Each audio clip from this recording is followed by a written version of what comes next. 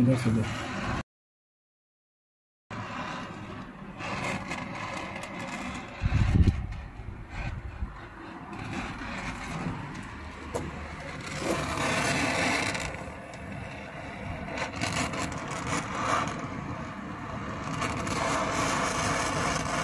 दे दोस्तों M R technician में फिर से एक नए वीडियो के साथ आपका दोस्त अफजल आलम। आज का जो हमारा वीडियो है, ये डी एक्स यूनिट का है।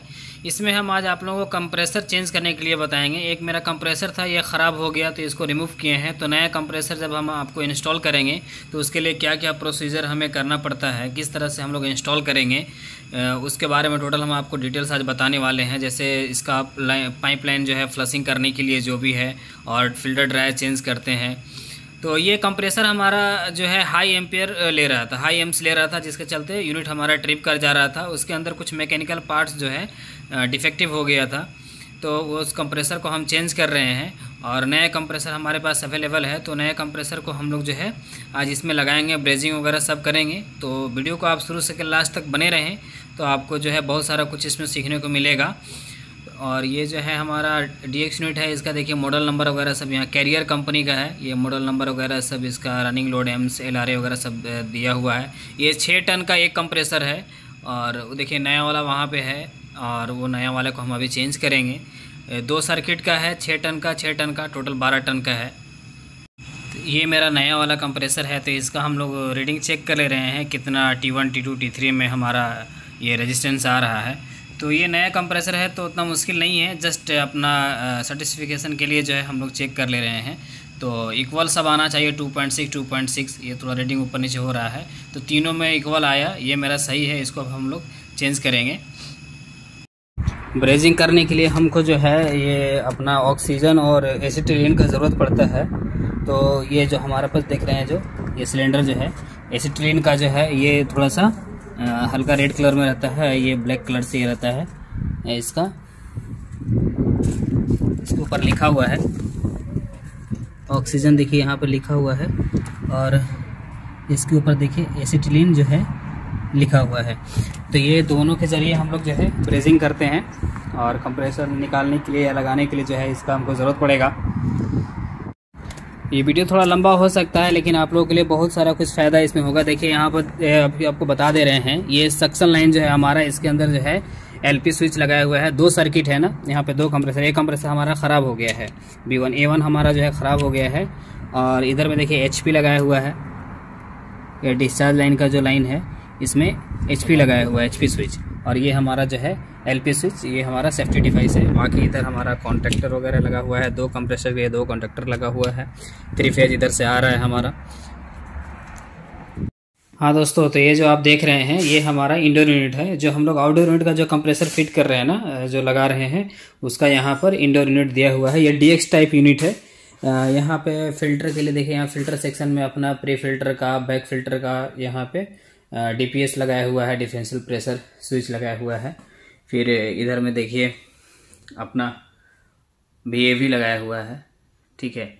फ्रेश एयर ये फ्रेश एयर के एक्चुअल में है, ये देखिए ना एफ़ ए लिखा हुआ है। फ्रेश एयर जो है वी के ज़रिए, जितना रिक्वायरमेंट है उसके हिसाब से जो है इसके अंदर रिटर्न में इसको इंक्लूड कराया जाएगा। फिर उधर में रिटर्न एयर आ रहा है। यहाँ पर देखिए fresh air plus return air दोनों क्या कहते हैं, इसमें ऐड है। और उसके बाद जो है, इधर जो साइड है, ये साइड में यहाँ पे सप्लाई एयर है। ठीक है? ये जो देख रहे हैं आप एयर फ्लो स्विच ये देखिए हमारा सप्लाई एयर है। ये सप्लाई एयर आगे जा रहा है। रेफ्रिजरेंट का प्रेशर देने के लिए देखिए, यहाँ पर हम लिक्विड लाइन में गैस को लगाए हुए हैं। प्रेशर यहाँ से डालेंगे नाइट्रोजन का। हाँ दोस्तों, जब हम इसको फ्लशिंग करेंगे तो लिक्विड लाइन में हमने यहाँ गैस को लगा दिया है। फ्लशिंग में स्टार्ट करेंगे। आप लोग देखिए। तो इसके लिए हमने वहाँ पे देखिए गैस के ज़रिए हम इसको नाइट्रोजन का प्रेशर दे करके और इसके अंदर से जो है फुल फ्लशिंग कर रहे हैं। ब्रेजिंग करने से पहले जो है फ्लशिंग कर लेंगे तो फ्लशिंग करने के बाद साफ़ कर लेंगे डिस्चार्ज का सक्शन लाइन को करेंगे। तो जो है ब्रेजिंग उस पर जो है ना अच्छा से बैठ जाए। नहीं तो बाद में लीकेज होने का चांसेस रहता है।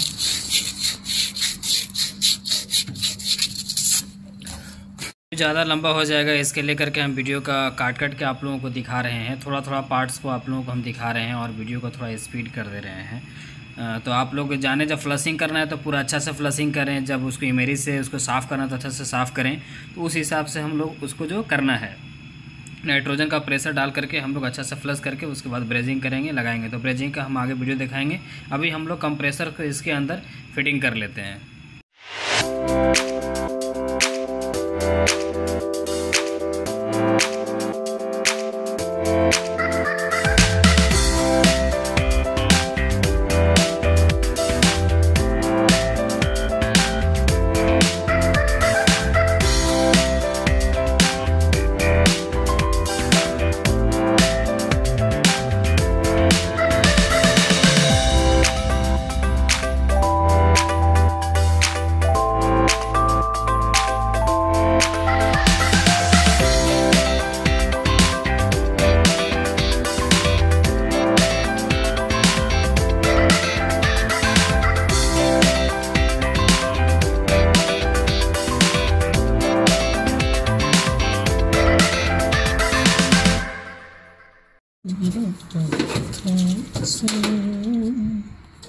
वो साफ़ है ना?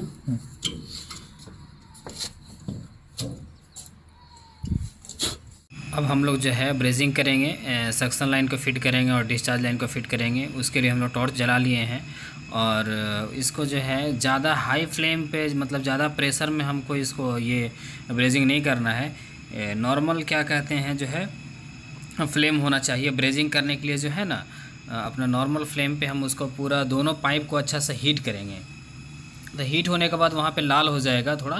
तो लाल होने के बाद जैसे ही हम लोग ब्रेजिंग रॉड को वहाँ पे रखेंगे तो वो मेल्ट होना स्टार्ट हो जाएगा और फिर उसके ज़रिए जो है, वहाँ पे जो है लीक आपका जो है ज्वाइंट हो जाएगा। तो अभी हम लोग इस पर रखेंगे ब्रेजिंग रॉड को रखेंगे।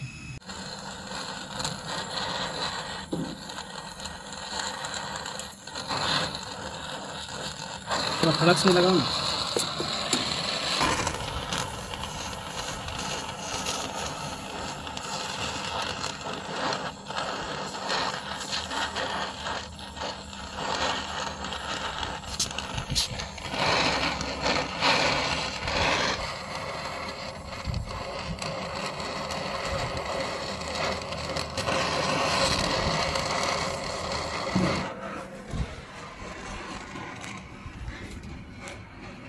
इधर से दो।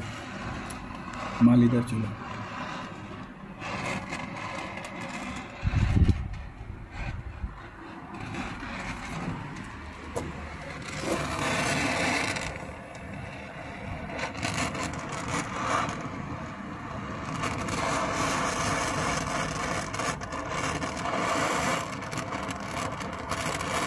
बस बस बैठा बैठाओ इसको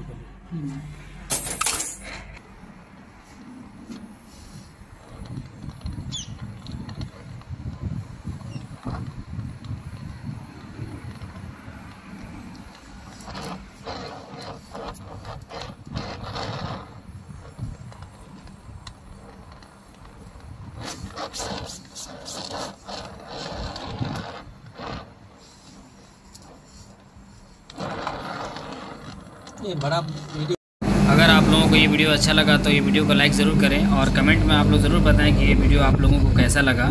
और भी अगर आप लोग कोई दूसरा टॉपिक पे जानना चाहते हैं या कुछ सीखना चाहते हैं तो आप लोग कमेंट कर सकते हैं।